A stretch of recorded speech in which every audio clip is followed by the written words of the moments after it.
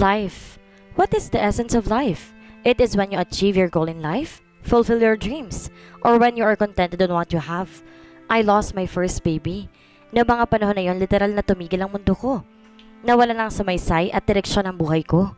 Humihinga nga ako pero pakiramdam ko naman walang buhay ang loob ko, na may malaking butas sa puso ko at may malaking kulang sa pagkatao ko. Sa madaling salita, hindi lang anak kong nawala noon kundi pati ang sarili ko. Darkness swallowing me, sadness drowning me at night, nightmare hunting me every near morning. Miserable. Sobrang naging miserable ang buhay ko sa mga nagdaang buwan. Ako ang larawan ng isang babae na bukod sa nawalan ng anak, niloko rin ang asawa. I'm hurt. Sinaktan ako at nasaktan ako ng sobra. Nadurog, nawasak, lumisan, at ngayon muling nabigyan ng kahulugan ng buhay ko. Hindi na lang ako magpapatuloy para sa sarili ko, kundi pati na rin sa pitong buwan kong dinadala sa sinapupunan ko ngayon, ang anak ko. Kung kailan lubog na lubog ako sa kalungkutan, kung kailan pakiramdam ko'y wala na ako makakapitan, at kung kailan nawawalan na ako ng pag-asa, nangyari naman ang pinakamagandang kaganapan sa buhay ko, at ito yung mabigyan ulit ako ng pangalawang pagkakataon na maging isang ina. Sabik na sabik na ako masilayan ng anak ko kaya ginagawa ko lahat ng pag-iingat sa takot na maulit muli ang nangyari sa unang pinagbubuntis ko. Soraya, hindi mo talaga ipapaalam sa kanya tungkol sa pagbubuntis mo? Ililapag ko ang aking gunting at tela na ginugupit ko sa mesa habang maingat na umayos ang upo dito sa may balkonahe bago tumingin kay Mona. Halos every weekend ko bumisita dito si Mona sa Baguio, lalo na nung nalaman niya na nagkakadalang tao ako. At ngayon lang din siya nagbukas ng usapin tungkol sa ama ng dinadala ko, si Caleb. Huminga ako ng malalim at uminom ng tubig sa baso. Wala na ako naging balita pa sa dati kong asawa, maliban sa huling sinabi ni Mona na ang unang bisita nito sa akin na pabagsak na raw ang BEW Company. Gusto ko ng tahimik na buhay, Mona. Ayoko na ng gulo. Sagot ko matapos ng mahabang katahimikan. Tumayo si Mona at marang hinaplos ang umbo kong tiyan bago tinagpo ang mga mata ko. I know what's in her head. Hahayaan mo na lang ba na lumaki ang inaanak ko na walang kinikilalang ama? Napasingap ako dahil sa mahirap na tanong ni Mona. Growing without a father beside you is not easy. Danas ko yun nung maaga ko maulila sa mga magulang. You know what I've been through in his arms? Nawala ang panganay ko dahil sa kapatid niya. At masakit pa rin sa akin hanggang ngayon ang nangyari, Mona. Nalulukang sambit ko, kaya umiwas ako ng tingin. Naiintindihan ko. Kung ano man ang magiging desisyon mo, Soraya, susuportahan ko. Alam ko na lahat ng ginagawa at gagawin may para rin sa kabubuti ng anak mo. Ngumiti ako kay Mona na sinserong hinawakan ng mga kamay ko. Pinaubaya ko na rin siya sa taong alam ko na mamahalin siya na higit pa sa pagmamahal ko. Iniisip ko pala na magsasama ulit kami, nahihirapan na akong huminga. Masakit pa rin kasi talaga eh. Mas mabuti nang lumaki ang anak ko na wala ang kanyang ama sa tabi namin, kesa lumaki ang bata nagsasama nga kami ng kanyang ama pero nagkakasakitan naman. Sambit ko. Ito ang ayaw ko maranasan ng anak ko, na lalaki siya na puro sakitan lang ang masasakyan niya sa amin sa kanyang ama. Lalo na ngayon na hindi pa ako nang magpatawad. Dahil kung ang umusad nga ay hirap na hirap ako, ang magpatawad pa kaya? Naiintindihan ko, Soraya. Ani Mona.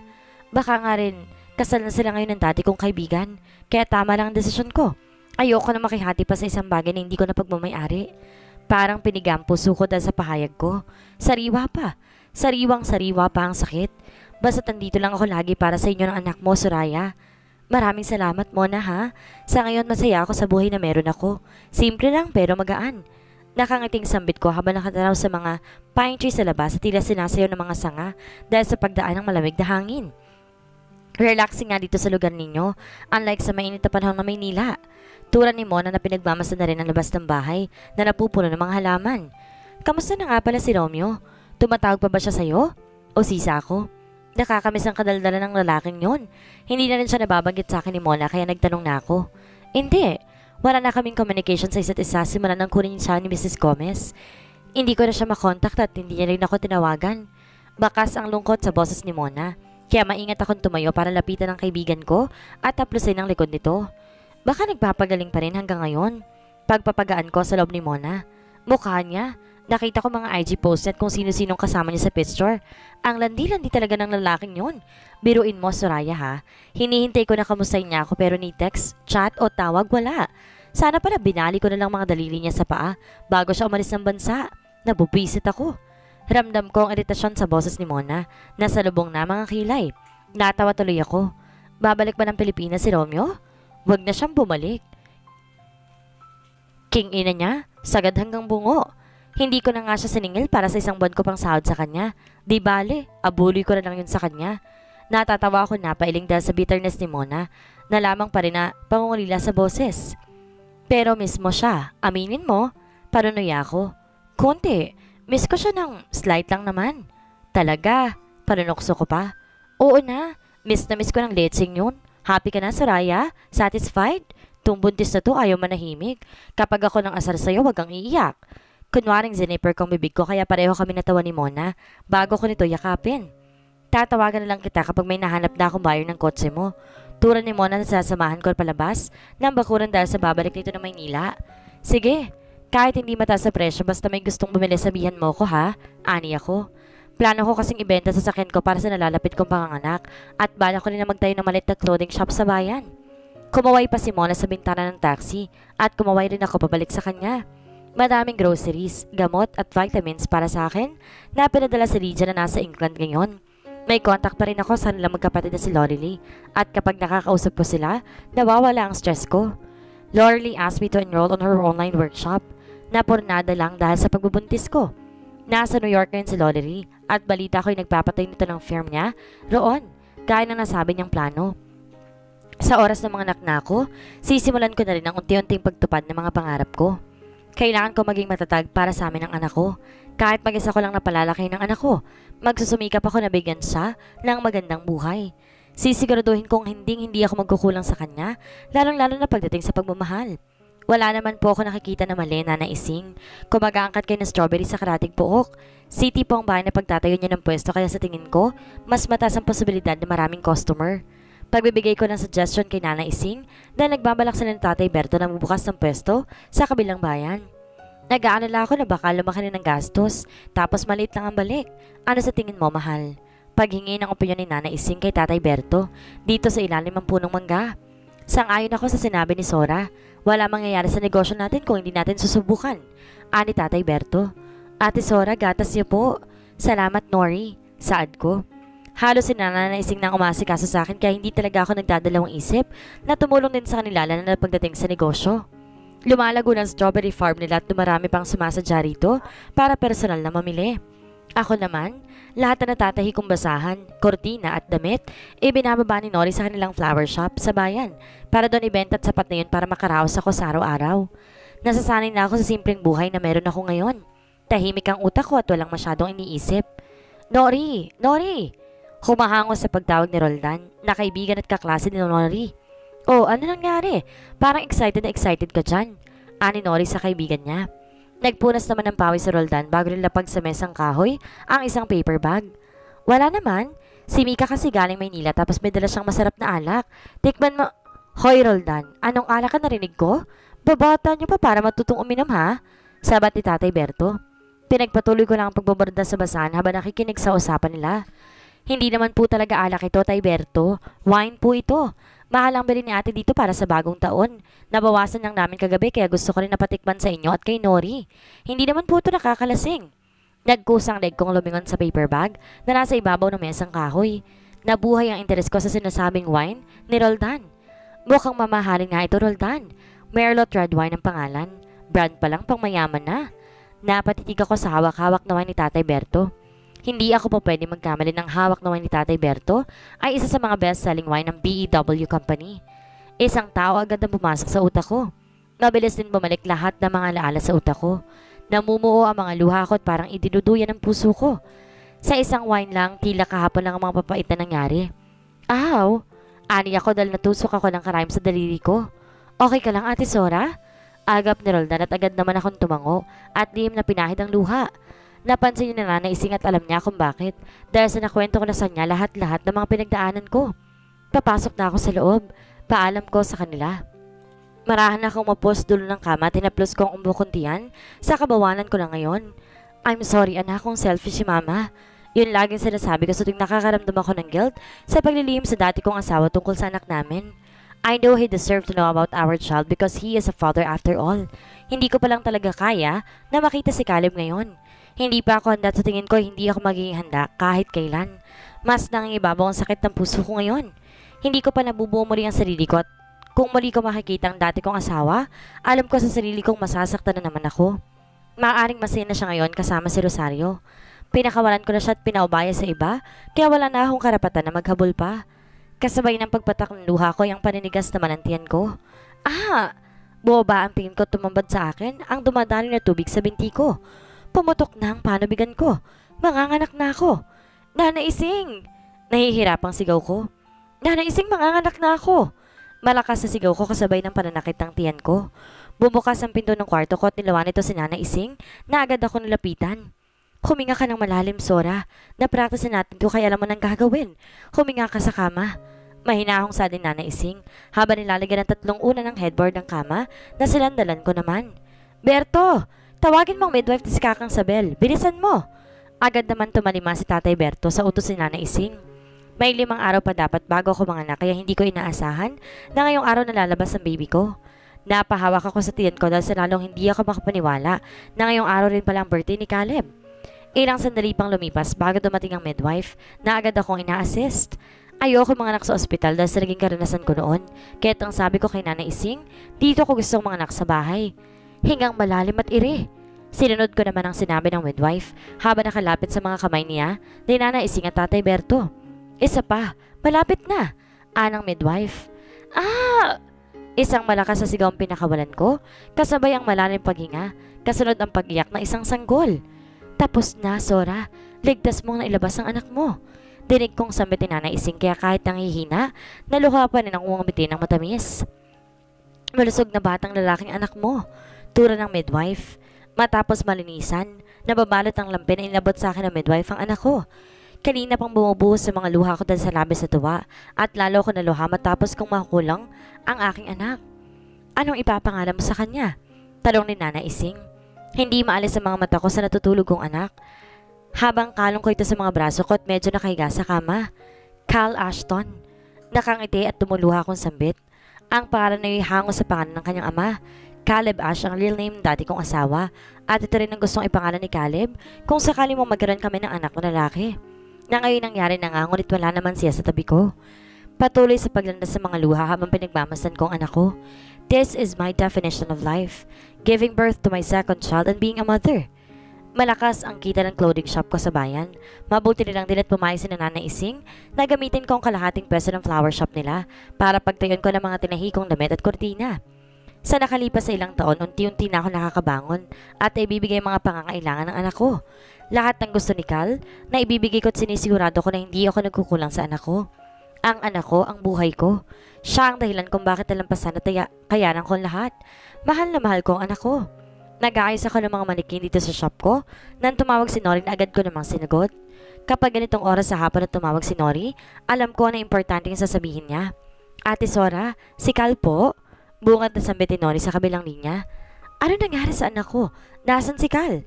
Nag-aalalang tanong ko. Nasa kinder na si Cal at si Nori nagbabantay sa anak ko dahil sa siyang practice teacher sa eskwelahan kung saan din nag-aaral ang anak ko. Pumunta na lang po kayo dito sa school, Ate Sora. Ngayon na po.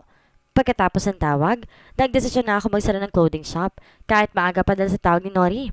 It's about my son. Kaya, napaka importante nito. Sa boses pa lamang ni Nori sa telepono, alam ko na agad na may hindi maganda nangyari, kaya hindi ko mapigilan ng hindi mangamba. Agad akong sumakay ng tricycle at nagpahatid sa San Luis Elementary School kung saan pumapasok ang anak ko. Pasado alaw na ng hapon at pang umagang pasok ni Cal, kaya dapat sa mga oras na ito'y nasa bahay na sila ni Nori. Ate Sora, dito po. Salubong sa akin ng dalagang si Nori habang nakasuot ng pangguro, kahit di pa naman sa ganap na guro. Practice teaching lang siya rito na parte ng pag-aaral niya bago makapagtapos sa kolehiyo. Pumasok kami sa isang classroom at may dalawang teacher sa loob habang anak ko'y nakaupo at nakayuko katabi ng dalawang matabang batang lalaki na kasing edad niya. Anak! Pagtawag ko kay Kalat dahan naman akong tiningala ng anak ko. Ang makapalitong kilay agad na nagsalubong. Ang manipis at tamumulang labi nito'y napanguso. Bukod sa marami ang suot itong poli, may kaskas din ang tuhod niya. Ano ho bang nangyari? Medyo tensyonado akong tanong na nakasalamin na guro na may edad na. May sugat ang anak ko kaya hindi ko maiwasang hindi makaramdam ng galit. Away mga bata lang ho, Mrs. Miss po, pagtatama ko sa sinabi ng guro na tumango naman. Wala akong asawa at hindi rin ako kasal. Napagsabihan natin ng mga bata at anak niyo ho sa nagsimula ayon sa mga kaklase niya. Sambit ng guro. Nilingon ko si Cal na kumikibot ang labi habang nakikipagtitigan na masama sa dalawang batang katabi niya. Medyo lumuhod ako para makapantay ang anak ko. Nanilingon ako sabay iwas ang tingin. Siya nga ang nagsimula. Umiwas ang tingin eh. Kilala ko ang anak ko. Talo na sa mga ganitong sitwasyon. Napabuntong hininga ko habang inaayos ang uniform ni Cal bago man nakipag-usap sa mga guro. Ilang minuto pang lumipas bago natapos ang diskusyonan na nauwi sa pirmahan. Sorry Ate Sora kung hindi ko nabantayan si Cal. Nasa principal's office kasi ako na mangyari ang away sa classroom nila. Paghingi ng paumanin ni Nori habang naglalakad kami palabas ng eskwelahan. Nauunang maglakad si Cal na kanina pa nakasimangot at hindi kumikibo. Salamat Nori. Kakausapin ko ang anak ko pagdating namin sa bahay. Turan ko. Ang sinakyan kong tricycle kanina naghatid sa amin ni Nori sa bahay. Kagaya kanina, hindi pa rin kumikibong anak ko kahit sa biyahe na tila yata malalim ang niisip sa murang edad. May problema ba anak? Kanina ka pa hindi kumikibo. Hindi mo pa rin sinasabi sa akin kung bakit ka nakipag-away. Sambit ko na makarating kami sa balkonahin ng aming bahay. Sila naman po ang nauna may. Lagi nila ako tinutokso na... Na ano anak? Turan ko dahil huminang boses ni Cal sa dulo. Medyo bababa ako para makapantay ang anak ko na hinawakan ko sa magkabay ng braso at salubungin ang mga mata nito. Nawala raw akong papa. Nakita ko ang pagdaan ng lungkot sa mga mata ni Cal, kaya parang piniga ang puso ko. Nangapa rin ako sa isasagot ko sa anak ko, kaya tiningala ko si Nori na wala rin sinasabi. Saan po ba kasi nagtatrabaho si Papa? Hindi ba siya uuwi dito sa atin? Nanginig ang mga labi ko dahil sa magkakasunod na tanong ni Cal. Ang alam ng anak ko ay nagtatrabaho sa malayong kanyang ama dahil yun ang lagi kong sinasagot sa tuwing nahanap niyang kanyang ama. Ah, uh, kasi anak, naparinok ako. Ayoko magsinungaling sa anak ko pero hindi ko naman kayang sabihin sa kanya na hindi alam ng kanyang ama na may anak ito. Ayokong masaktan ng anak ko. Hindi po ba natin pwedeng puntahan si Papa? Sobrang layo po ba talaga niya? Naiintindihan ko ang pinanggagalingan ng anak ko. Alam kong nangungulila siya sa pagmamahal ng ama dahil sa nabubuhay siya sa loob ng anim na taon na kaming dalawa lang ang magkasama. Malayo eh, tsaka baka busy ang papa mo. Naiiyak na ani ako. Eh bakit si tita mo na? May work din po siya pero lagi siya nandito every weekend. Hindi ko talaga malulusutan ng anak ko. He is Martek his father. Alam niya na may kulang kay naghahanap siya. Kulang na alam kong hindi ko mapupunan kahit anong gawin ko. Kal, magbihis ka na. Ipagluluto kita ng paborito mong champurado mamaya. Masuyong sa metinori sa anak ko na bumagsak ang mga balikat bago hinabad ang sapatos at pumasok sa loob ng bahay. Napasingap ako dahil sa paninikip ng dibdib. Nagsisimula na magtanong anak at kahit handa ako, may takot pa rin ako nararamdaman na baka kapag nalaman ni Cal na hiwalay na kami ng kanyang ama, hindi nito alam na may anak ito, ay masaktan siya ng sobra na iniiwasan kong mangyari. Ito ate Sora ang pinagmana ng away ng mga bata kanina, sabi ni Teacher Cruz. Inilahad sa akin ni Nori ang isang bond paper na may drawing. Family tree. Walang picture ang parte ng ama at picture lang namin ni Kana nakadikit sa family tree. Nanubig ang aking mga mata habang tinititigan ang gawa ng anak ko. May kulang. Actually, Ate Sora, kahapon pa kami naghahanap ni Cal ng picture ng kanyang ama, kaso wala talaga kami mahanap eh. Panay nga rin ang tanong sa akin ni Cal kung ano ang itsura ng papa niya. Pumatak ang mga luha ko dahil sa naging pahayag ni Nori. Naparinok ako kasabay ng panginginig ng mga balikat. Nangunguli lang anak ko sa kanyang ama at matagal na akong walang balita tungkol dito. Naramdaman ko ang paghago ni Nori sa likod ko dahil sa hindi matigil sa pagpatak ang mga luha ko. Nandito lang po ako lagi sa tabi niyo, Ate Sora. Kami ni na inay at itay. Pinahid ko mga luha ko sa kangumiti kay Nori at niyakap ito. Nagpakawala ako ng maraming paghinga bago pumasok sa loob ng bahay. Nadatnan ko ang anak ko nakadungo sa bintana sa kanyang kwarto at pinagbastan sa labas ng bakuran ang sumasabsab na kabayo. Kal, Saglit ako nalingon ng anak ko bago maling dumungo sa bintana, kaya umupo na rin ako sa sila katabi ng anak ko. Ito ang papa mo, sambit ko. Agad naman lumingon ng anak ko sa hawak kong isang business magazine na may kalumaan na dahil sa matagal ko itong itinago. Nakaupo sa isang swivel chair ng laking di ko magawang titigan ng mukha na ama ng aking anak. Si Papa po ito? Namamanghang sa adika na tinitigan sa magazine ang mukha ng kanyang ama. Tumango naman ako Bumili ako ng business magazine sa bahay nakarang taon para sa pagsisimula ko ng clothing shop. Hindi ko naman inaasahang makikita ko na ng mukha ng dati kong asawa, kaya itinago ko na lang ito sa aparador at di na muling tinignan. Ngayon na lamang ulit. Pareho po pala kami ng ilong at mata ni Papa. Natutuwang sambit ng anak ko. Hindi ko kukontray ng sinabi ni Cal dahil totoong napapansin niya. Parehong mahahabang pilikmata na mag-ama ko. Maging ang matatango silang ilong at kulay brown ng mga matay hindi nagkakalayo. Cal reminds me of his father. Kuhang-kuha niyang lahat ng angulo ng kanyang ama. Kaya rin siguro gustong gusto ko laging tinititigan ang mukha ng anak ko, lalo na kapag tulog ito. Mahal na mahal kita anak. Emosyonal na sambit ko. Nilingon ako ni Cal at sinarado niyang magazine bago ko niyakap kaya lalo ako naluha. Wag na ikaw umiyak, mama. Nakikita tayo ni ate sa heaven. Malulungkot din si ate. Napangiti ako habang nakayakap sa anak ko. Lagi kong kinukwento kay Cal ang ate niya, kahit hindi man ito nabigyan ng pagkakatong mabuhay dito sa mundo. Itinuturing namin ni Cal na anghel na nagbabantay sa amin ng panganay ko. Hindi na po ako makikipag-away sa school, mama. Promise po, wag na po kayong umiyak. Lalo ako napangiti sa sinabi ni Cal, kaya pinahin ko ng mga luha ko bago humiwalay sa yakap ng anak ko. Pero promise rin po na pupunta natin si Papa. Anak nga siya ng Papa niya, hindi papayag na walang kapalit. Nakangiti akong tumayo kahit wala naman akong plano. Halos magpipitong taon na mala na lumayo ako. Sa loob ng mga panahong iyon, wala ako narinig tungkol sa bahay ng dati kong asawa dahil bukod sa iniwasan ko, abala rin ako sa pagpapalaki kay Cal. Nasa kabilang bahay si Cal dahil sa pinagluluto ito ni Nori ng champurado, gaya ng sabi nito kanina habang ako'y narito sa balkonahin ng bahay at tinitignan sa magazine ang mukha ni Caleb. Kahit picture lang yon, pakaramdam ko naman, nagsasalubong ang mga mata namin. Isinarado ko magazine bago pa man pumatak ang mga luha ko dahil sa naalala ko na naman ang mga nangyari noon. Mga alaalang hindi ko na yata makakalimutan kahit kailan. Nandito pa rin ang sakit sa puso ko. Nakaukit na ito at hindi na mabubura pa. Ayoko mabigo ang anak ko sa kanyang ama gaya na nangyari sa akin noon na halos wala nang natira sa akin. Bata pang anak ko, Ayoko maranasan niyang masaktan at mabigo. Lalo pa ngayon na sa tingin ko ay may sarili na rin pamilya ang kanyang ama dahil sa ilang taon ang lumilipas. Doon pa lang sa bagay na yun alam ko na agad na mabibigo ang anak ko, pati na rin ako. Kaya gagawin ko ang lahat na makakaya ko na iparamdam sa anak ko kung gaano ko siya kamahal, higit pa sa kahit anong bagay at kahit kanino. Tumunog ang cellphone ko kaya naputo lang malalim pag-iisip ko. Isang tawag mula kay Lorelei na nasa New York pa rin hanggang ngayon. Alam ko ng dahilan kung bakit tumatawag ito. Hello, Soraya. Hindi na ako magpapaligoy-ligoy pa. Nakapag-decide ka na ba about sa offer ko? Ang offer ni Lorelei ay magtrabaho ko sa firm niya sa New York. Undecided pa rin ako until now, Lorelei. Hero naman na may anak ako at may pinapatak pa rin ako malit na clothing shop dito sa Pilipinas. Sambit ko. Wala namang problema kung may anak ka na. Besides, inaanak ko naman si Cal. Tanggapin mo lang talaga ang offer ko at ako nang bahala sa inyo ng anak mo papunta rito. Mas malaking opportunity dito sa New York. Nangihinayang kasi talaga ako sa mga designs mo.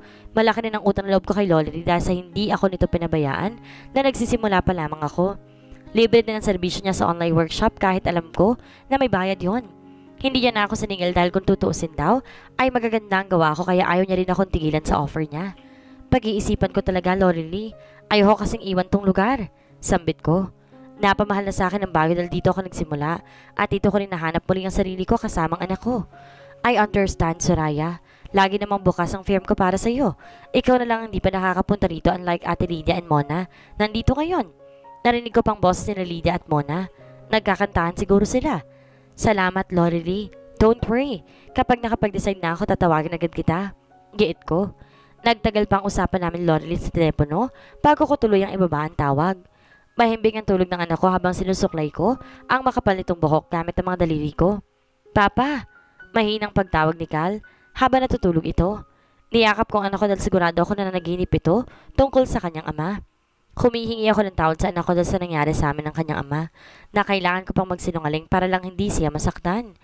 Ginagawa ko lang naman to para sa kapakanan niya kahit alam ko na hindi ko mapupunan ng kulang sa buhay ng anak ko.